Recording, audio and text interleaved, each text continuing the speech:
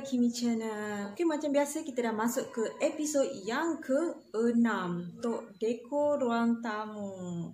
Hari ni apa yang saya nak share dengan korang, macam dekat belakang ni, rock cube daripada papan frame Eco. So, tanpa kita membuang masa lagi, jom kita tengok macam mana cara untuk buat menggunakan papan frame kedai Eco. Okay, jom kita tengok sama-sama. Okey, ini barang-barang yang kita perlukan untuk kita buat cube rock kita. Okey, kita ada brush yang kita nak guna juga nanti. Ini frame yang saya haul hari tu, kita nak jadikan dia hiasan nanti. Ini cat kayu kilat yang saya beli dekat family store, saya nak guna untuk saya nak cat dekat frame gambar nanti. Saya beli dua, warna hitam satu dan warna putih satu. Okey, yang ini frame hook. Yang ini saya nak guna juga nanti untuk sangkutkan cube rock kita nanti. Okey, seterusnya saya gunakan paku juga untuk nak paku papan-papan frame tu nanti. Saya ada dua kat sini. Satu yang uh, panjang sikit, satu yang pendek sikit. Tak tahu nak guna yang mana satu. Okay, ni pula uh, mat yang orang guna untuk uh, letak depan pintu, lak kaki tu kan. Okay, ni saya nak guna untuk lapik dekat atas cube rak tu nanti. Ni pula papan-papan frame yang saya beli hari tu, yang saya buat haul tu. Kita nak gunakan untuk jadikan cube rak tu nantilah. Saya beli empat je ni, sepatutnya saya nak beli lapan tapi ada empat je. So terpaksalah saya ambil frame yang besar ni dan nanti kita akan potong ikut saiz yang apa-apa ni. So saya gunakan juga wallpaper. Yang ni lebihan daripada yang saya guna buat jute rope chef hari tu. So untuk letak dekat uh, ruang TV tu saya gunakan yang sama jugalah. Dan last sekali ni pasu yang saya haul hari tu. Ni kita akan jadikan hiasan dekat rak tu nanti. Okay, first kita buka dululah plastik-plastik yang membaluti frame-frame gambar ni dulu. Okay.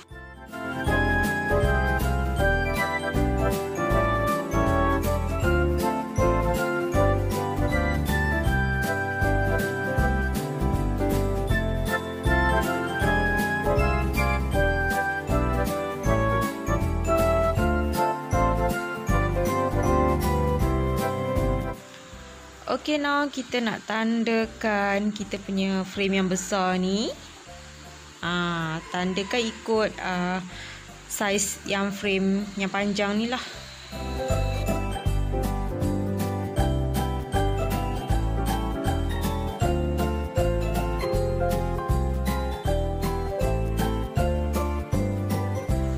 Okay, so dah siap dah kita tandakan ikut saiz frame yang panjang tu. So, sekarang ni kita nak gergajikan papan ni.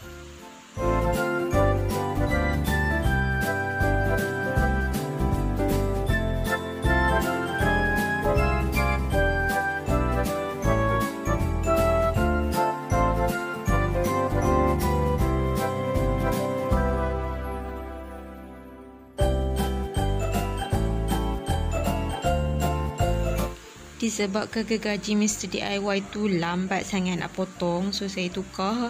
Saya gunakan gergaji daripada Eco Shop ni.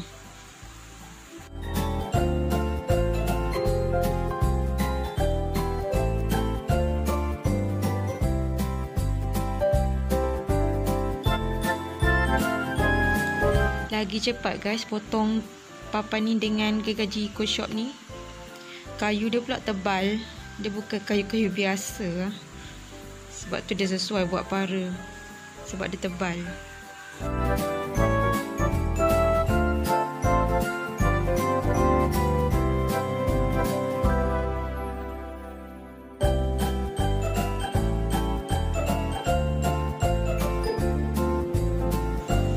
So, dah siap kita potongkan ke empat-empat ni. Okay, so sekarang ni kita nak balut wallpaper pada wooden frame Eco ni.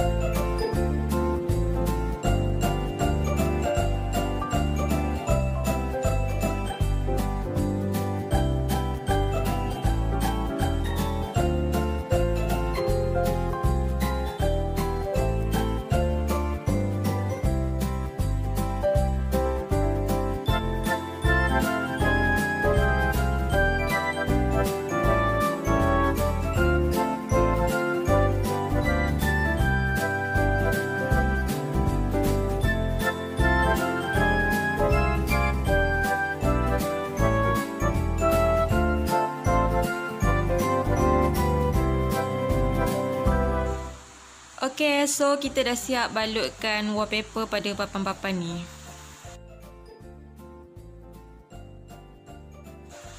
Okay, sekarang kita perlukan penukul ataupun hammer dan juga paku-paku ni. Saya tengok nanti yang mana satu sesuai dengan papan ni. Okay, sekarang kita nak pakukan papan-papan ni semua. Kita akan cantumkan dia menjadi bentuk cube. Okay. Okey, kita ambil dua keping yang panjang ni dan dua keping yang pendek ni. Dan juga paku. Okey, saya cuba paku yang panjang dulu. Kita tengok macam mana nanti. Papan ni pecah ataupun tidak. Okey, so kita ambil yang papan pendek tu. Kita pakukan di hujung papan yang panjang tu. Macam ni.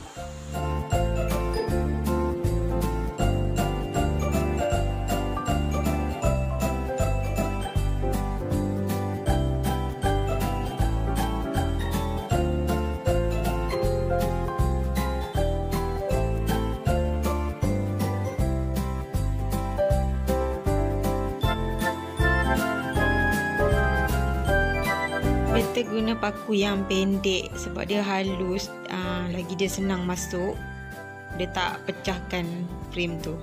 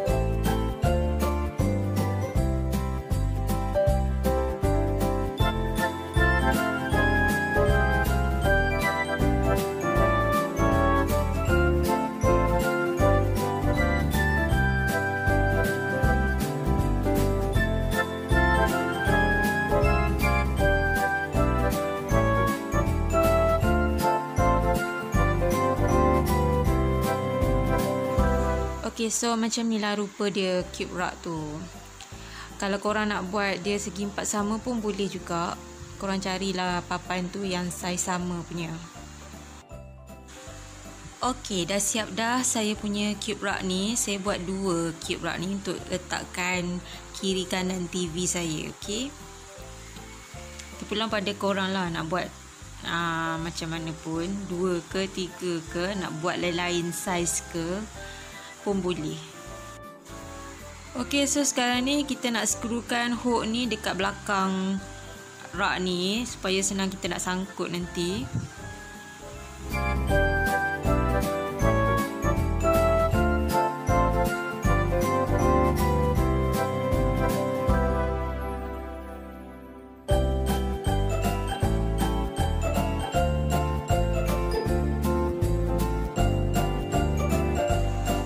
Okey, so ni saya dah siap pakukan ke dinding. Okey, macam ni lah rupa dia.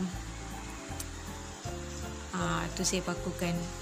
Okey, saya buat kiri kanan sebelah sana satu dan di sini satu. Next, saya nak share dengan korang macam mana saya make over frame gambar ni. Okey, korang ingat lagi tak dengan frame ni? Dekat Eco kan ada kan? Yang saya buat haul hari tu, frame tu gambar bunga dekat sini. So saya dah make overkan dia kepada macam ni. Okay. So macam yang saya buat, korang kena follow video yang selepas ini pula. Okay. So jom kita tengok sama-sama. Okay, sekarang saya nak catkan frame ni. Saya guna brush ni yang saya beli dekat Eco. Dan ni cat yang saya beli kat Family Store. Okey, kayu ni saya guna untuk nak kacau cat tu nanti.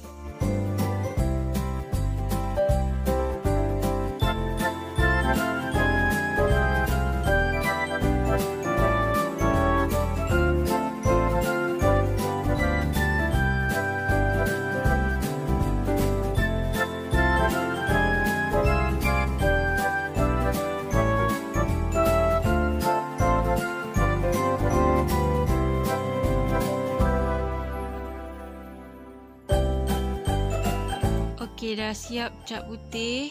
Kita keringkan dulu cat ni. Okey, lepas dah kering cat putih tu, kita gunakan cat hitam untuk buat dia jalur-jalur.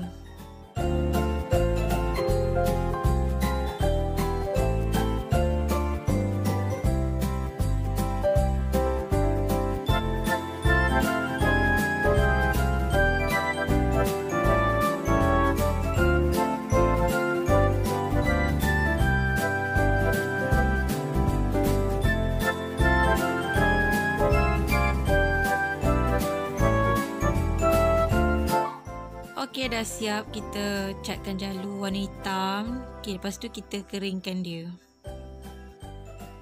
Okey yang satu lagi ni saya catkan dia warna hitam semua.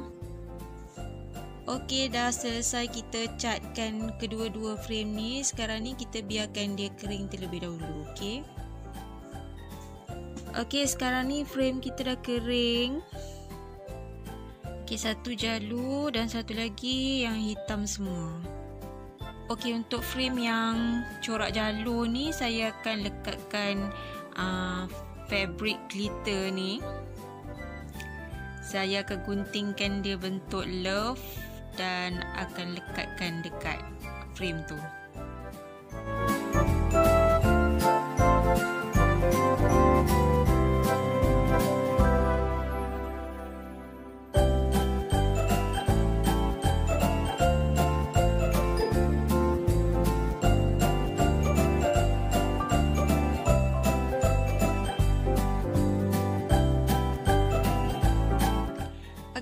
Yang ni saya akan lekatkan stiker-stiker perkataan ataupun kata-kata semangat daripada stiker book uh, Mr DIY.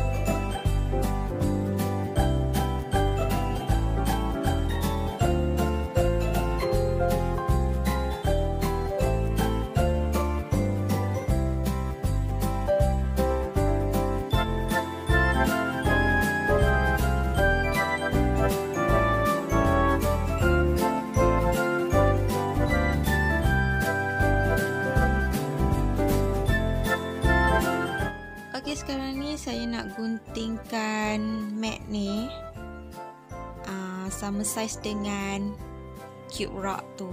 Saya nak buat lapik dia.